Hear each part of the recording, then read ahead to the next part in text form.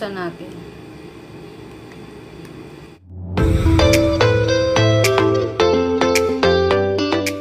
Hi guys! It's me again, Joan, and welcome back to my channel.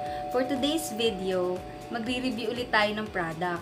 And ang i-review nating product today is itong Myra E, Vitamin E, at ang Vitamin C, which is the potency. So, itong combo na to ang i-review ko today. So, bago tayo mag-start, uh, kung hindi ka pa nakasubscribe sa channel ko, subscribe ka na and click the bell button para updated ka sa lahat ng video ko. So, kung wala na kayong question, let's get into the video. So, ayun na nga guys, yung i-review natin today is dalawa. So, unahin ko muna tong Myra E. So, ito, ginagamit ko to uh, everyday sa morning, tsaka bago ako matulog. Ito yung iniinom ko. Ba't nga ba ako nag-Myra E? Nag-Myra E ako kasi parang nako-conscious na ako sa skin ko. Parang feel ko, syempre pag tumatanda tayo, parang iniisip natin dapat uh, maganda yung balat natin, 'di ba? Ganon. So ito, yun, trinay ko, nakakadalawang ano na ako nito. Naubos kasi natapon ka na kasi yung ano ne, yung bottle nito, natapon ko na. So ito, ito yung ginagamit ko ngayon and sabi nila nakakaputi daw to. Pero ewan ko kung talaga bang nakakaputi yung Myra E. Kasi ang alam ko, kaya ka pumuputi is parang nagbo-blooming yung katawan mo. Parang nag, nag ano, nagla-light siya. Pero hindi naman talaga siya nakakaputi. Parang nakaka-blooming lang siya. So, ayun. And, ang laman nito ay 30 capsules. Tapos, ang presyo nito ay 369. Sa Watson ko to bumili. And, kasama to sa Watson Hole ko, yung 1,000 Watson Hole ko. So, alamin natin kung ano ba yung ibig sabihin ng vitamin E. So, syempre, nag-search ako kung ano ibig sabihin ng vitamin E. Sabi nga dito, ano ba yung benefits ng vitamin E? Vitamin E may prevent coronary heart disease, support immune function, prevent inflammation, promote eye health, and lower risk of cancer. So, ang vitamin E pala, hindi lang siya more on sa skin. Meron din siya sa atin para sa health natin. Sa eyes, sa heart natin. Hindi lang siya more on sa skin natin. So, ito nga yung tinitake ko ngayon. And, ito yung itsura niya sa loob. Ito sa inyo.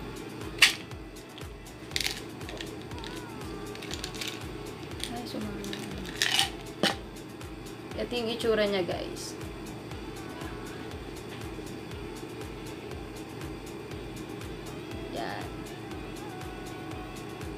Gel type lang siya.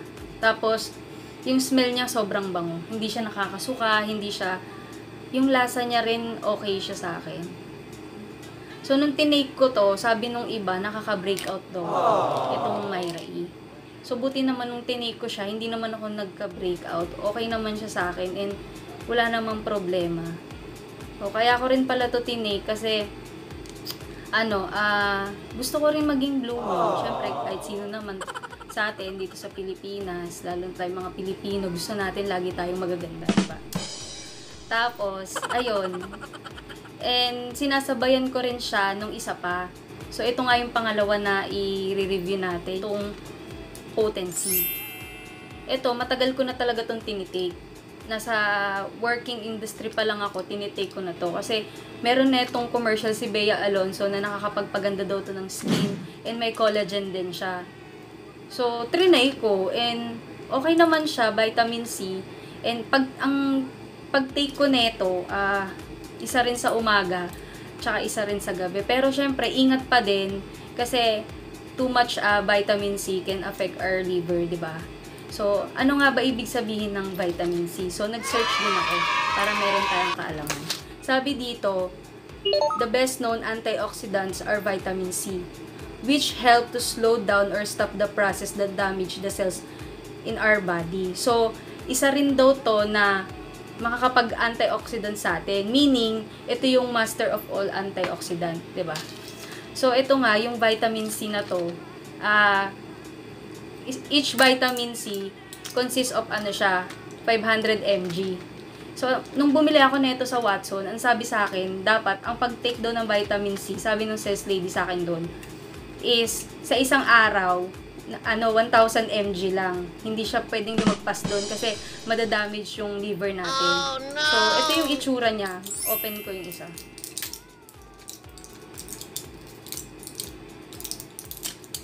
Ganyan lang siya. Para siyang ano, nips na candy. Yan. So, ang lasa nito, kasi ito binili ko su- sugar coated to eh. Pero dalawa to, dalawang klase to eh. Meron din tong yung parang wala lang siya, mas mura nga lang yun. Kasi ang sugar coated, lumalabas siya na 7 ang isa. Pero yung hindi sugar coated, parang 3 pesos lang yun. Pero ang iniinom ko kasi yung sugar coated. So meron din ako dito, meron pa ako netong ganito box. So Watson ko siya binili and may free siya na dalawa. Kada ano, kada pupunta ako ng Watson, guys, lagi akong kumukuha nito kasi parang kasama na siya sa routine ko. Ang presyo nga pala netong vitamin C na ah, potency is parang 1 149 ata yun. Parang lumalabas kasi siya na 7 each. Ito siya guys, ipapakita ko sa inyo yung laman niya sa loob. So, open muna natin. Kasi bago lang din to eh. So, ayan. Tapos meron pa siya ulit another box. Kaloka. Ginagawa mo. So, ito guys. Another box ulit. Oh no! Tapos bubuksan natin siya.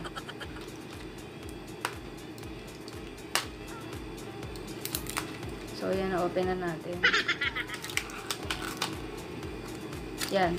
Ito yung pinakalaman niya, guys. Ayan. Bali, sa isang banig, 10 pieces, 10 pieces. So, 20. Kung ikaw, nagtitipid ka, pwede ka namang bumili ng kahit isang ano lang ganito. Kasi alam ko nabibili naman siya ng tingi. Meron naman siyang tingi sa mga tindahan or sa mga pharmacy. So, yun nga lang, kasi nag-hoard talaga ako ng mga vitamins na to. Kasi feel ko, nakakapag, ano siya, na, pag nakakapag-take ako nito, parang super, feel ko ah, blooming ako. Sa akin, sa sarili ko. Pero syempre, iba-iba naman tayo ng ah, reaction sa katawan natin ng vitamin C. So, yun nga, inano ko na rin kasi may free siya na dalawa. So, ayun. Nga pala guys, disclaimer lang ha, baka isipin nyo, ah, product is sponsored to ng Potency tsaka ng ano ng Myra E. Hindi po, ah, ako po yung bumili nito and pera ko po yung ginamit ko na ah, pambili dito sa mga vitamins na to. So ayun nga, eh wait lang, nagugutom ako. Guys, oh. So ayun nga guys.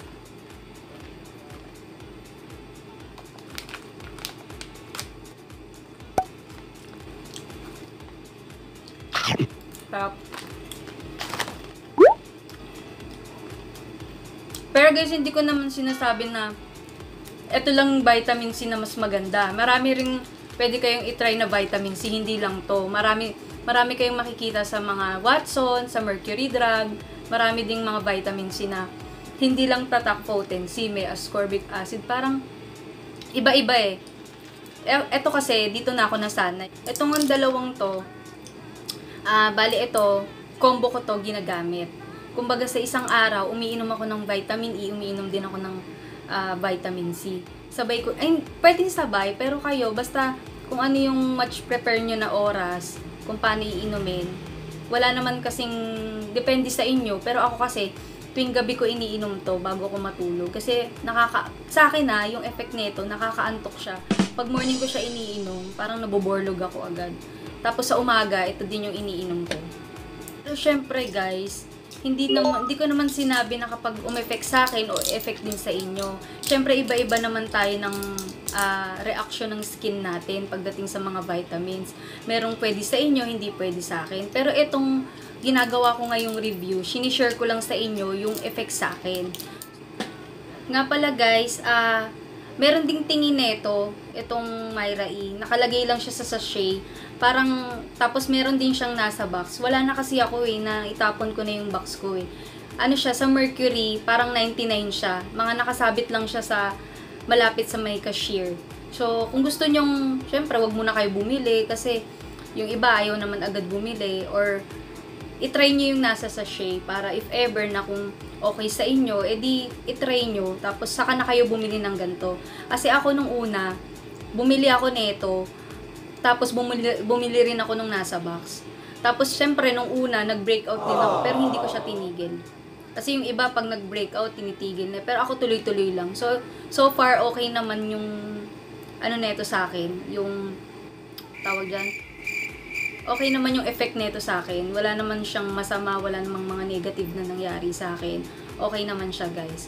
And, um, presyo nga pala nito, nasabi ko na kanina, 369 siya, 30 capsule. Kung ikaw, gusto mo, uh, isang araw, pwede mo siyang inumin, aabot siya ng 30 days.